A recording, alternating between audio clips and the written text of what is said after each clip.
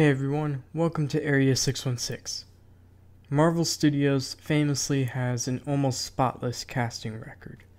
To this day, you're not really going to find any miscast main characters. Everyone is pretty much perfect for the role. As far as Sony and Fox go, they have a bit more of a mixed bag, but Fox is responsible for two of some of the best castings ever Hugh Jackman as Wolverine and Ryan Reynolds as Deadpool and Sony did a top notch job casting many of the Spider Man movies, especially with the villains. Except Topher Grace as Venom. We don't talk about that. But who are some of the actors who are just perfect for a Marvel character? Today I'm going to go over six casting I'd love to see Marvel make. And before we get started, be warned this does contain some spoilers for Guardians of the Galaxy Volume 2, though I'm pretty sure everybody's seen it at this point. But let's get started. 6. Norman Reedus as Johnny Blaze. Ghost Rider has already come to the MCU as Robbie Reyes, played by Gabriel Luna, but he's not the main Ghost Rider of the comics. That would have to be Johnny Blaze, aka a motorcycle riding stuntman who sold his soul to the devil in return for his father's health. In the Ghost Rider movies, he was played by Nicolas Cage, though that was an absolutely terrible choice. So, who should play him in the MCU if he reappears? In my opinion, it should be none other than the Norman Reedus, who's famous for playing Daryl, the tough motorcycle riding character from The Walking Dead. Not only is he the perfect choice for this character, but he himself has said he'd love to do it. Marvel, make it happen. 5. Alexandra Daddario as the Black Cat. With the upcoming Sony Marvel film Silver and Black set to star Silver Sable and Black Cat, that got me wondering just who could fill the role of Felicia Hardy, and I instantly thought of Alexandra Daddario. I don't know exactly what it is about her, but I think she has the perfect look for the role, and I think she'd do a great job. Picturing her with white hair is a bit difficult, but another option perhaps is Jessica Drew, aka Spider Woman, who's also rumored to be in the movie. However, at the end of the day, I think she'd be pretty much perfect in the role of Black Cat. 4. Rami Malek as Moon Knight. I've never seen Mr. Robot. I really, really want to, as I've heard it's extremely good, but from what I've heard, it sounds like a show that makes you question what's real and what isn't. Which is exactly what you'd expect from a Moon Knight Netflix series.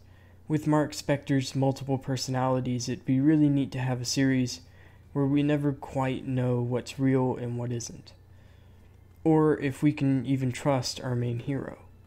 And who better to fill that role than Mr. Robot's lead, Rami Malek?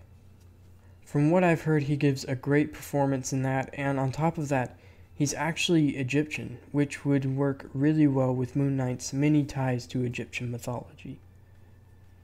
3. Alexander Skarsgård as Adam Warlock.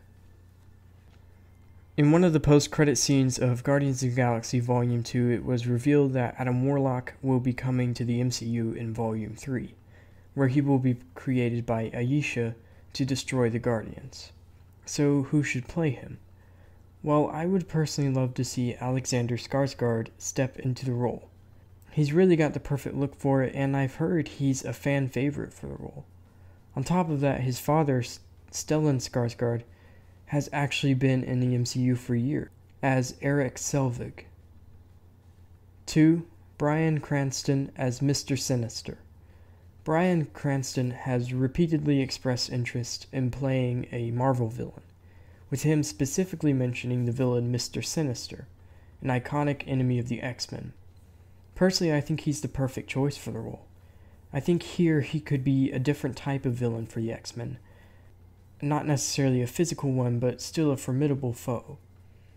I could really see Cranston in this role. I think he'd nail both the menacing and emotional parts of the character. Plus, it'd be cool to see a villain other than Magneto or Dark Phoenix, right? 1. Matthew McConaughey as Norman Osborn. So far, we've had two people in the role of Norman Osborn Willem Dafoe and Chris Cooper. And while it's not likely Osborn will be showing up in the MCU anytime soon, when he does, there's one person I'd like to see play him Matthew McConaughey. If Osborn comes to the MCU, it's likely we'd see a different version of him. Perhaps he'd be more like he was during the Dark Reign and Siege events of the comics. I really think McConaughey would do very well here. He's already been asked by Marvel to play Ego in Guardians of the Galaxy Volume 2, which he ultimately turned down. But those are six dream castings for Marvel characters. What do you guys think? Do you agree with my list, and are there any more Marvel castings you guys would like to see happen? Let me know all your thoughts and theories in the comments below. Thanks for watching, and I'll see you all next time. Yeah, they say the way I act is immature. Well, don't be mad at me because you're feeling insecure.